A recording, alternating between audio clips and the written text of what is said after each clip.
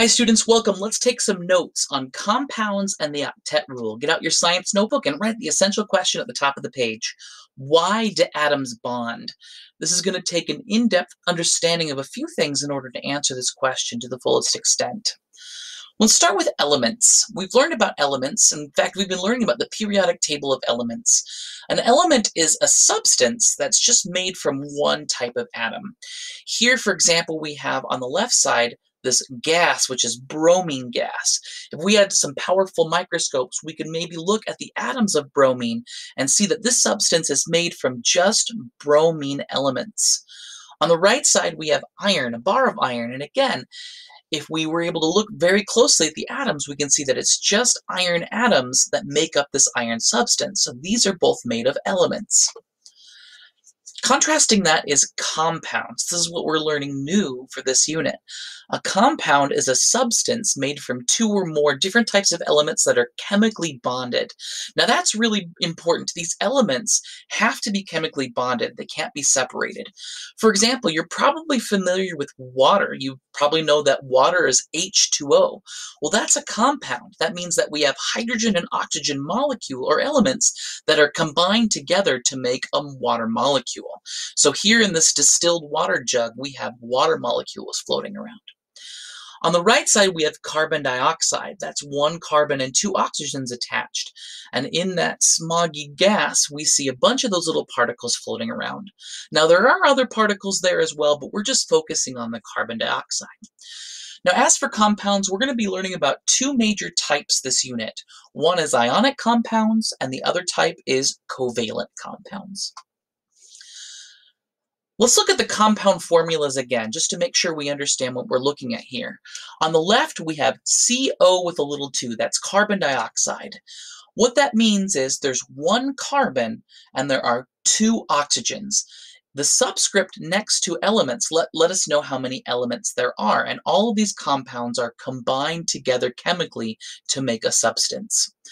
In the middle, we have sodium sulfide, or that's two sodiums and one sulfur attached. The little 2, the subscript, is right after the sodium. Lastly, we have sodium chloride. There's no subscript, so we can just assume that there's one of each. All right, the octet rule is a very important rule in chemistry. This is, lets us know why atoms bond. Atoms bond because they want to react and bond with each other in order to obtain a full valence. This is called the octet rule. Now, a full valence, if you think about drawing Bohr models, the most any element can have on its outer shell, on its valence shell, is 8 electrons. So for most elements, a full valence is 8 electrons. There are some exceptions across the periodic table. Two notable ones that you should know are hydrogen and helium. They only need two. The reason for that, if you remember, when we drew Bohr models, the very first ring can only hold two electrons, and hydrogen and helium only have one ring. There are different ways elements get to an octet. And that leads us back to ionic compounds and covalent compounds. So let's explore those a little bit further. Before we do that, you need to remember which elements are metals, which are nonmetals, and which are metalloids on the periodic table. I have a little periodic table in the lower left-hand corner for you to view. If you notice, everything on the left side of the metalloid stair step are metals except for hydrogen. Everything on the right side of the metalloid stair step are nonmetals. And don't forget to include hydrogen in that well, when we look at ionic compounds, they can follow the octet rule because metals will lose electrons to nonmetals. The nonmetals will take those electrons, and so every element will eventually be able to get their octet, and they'll combine together to do so. Covalent compounds are a little bit different. Covalent compounds are made only of nonmetals. And so nonmetals share electrons with other nonmetals in order for them to get a full octet. Now, in both cases, electronegativity plays an important role. So we're going to explore that with two examples. Let's start with an ionic compound. Here's an octet example. Here we have two Bohr models, one of sodium and one of chlorine. If you take a look, we want to figure out what's the easiest way for these elements to get an octet. Well, remember, sodium has a low electronegativity. Electronegativity is the tendency of an element to be attracted to electrons. So sodium isn't very attracted to electrons. Chlorine, on the other hand, has a high electronegativity.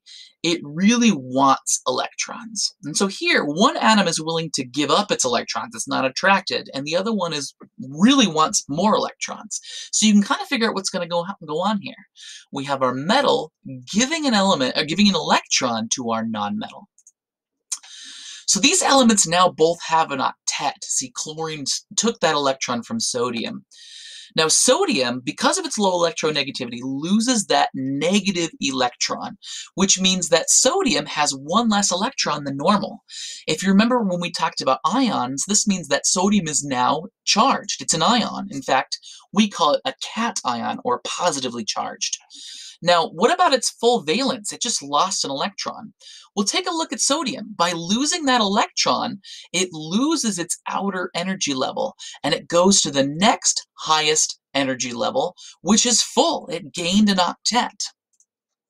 Now, chlorine, being high electronegativity, gains that negative electron.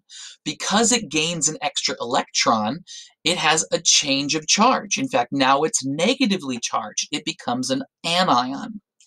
Now, it also gains a full valence because now its outer shell has a full amount, or eight electrons. These two elements are now attracted to each other because of those charges. Remember, opposites attract. And this is the main concept behind ionic compounds. This is the formula for sodium chloride as we saw before. Now, typically when we draw the octet, when we draw sodium and chloride interacting in an ionic compound, we don't typically use Bohr models to do that because it gets really complicated. Instead, we use electron dot structures. Here's a simplified version of what we just saw. Sodium with one valence electron will lose its valence to chlorine, which will gain it.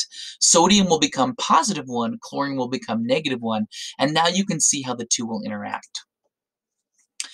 All right, let's take a look at a covalent compound octet. So here, what's the easiest way for these nonmetal elements to form an octet?